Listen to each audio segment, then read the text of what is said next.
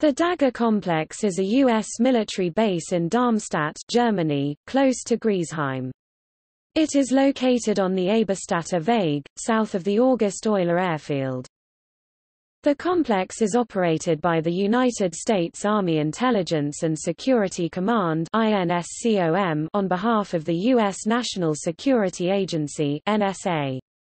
Building 4373 within the complex houses the NSA's European Cryptologic Center ECC, the agency's principal SIGINT processing, analysis and reporting center in Germany.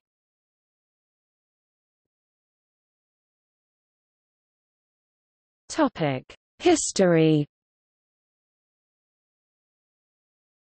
In 1999 about 50 INSCOM units were moved from Bad Aibling station to Darmstadt.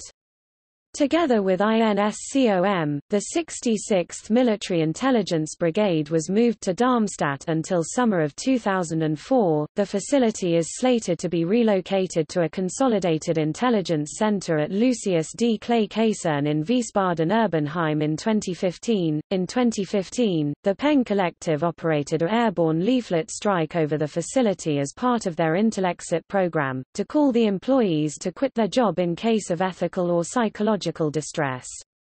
Shortly after the drop of the leaflets, the association's website was blocked on computers within the complex.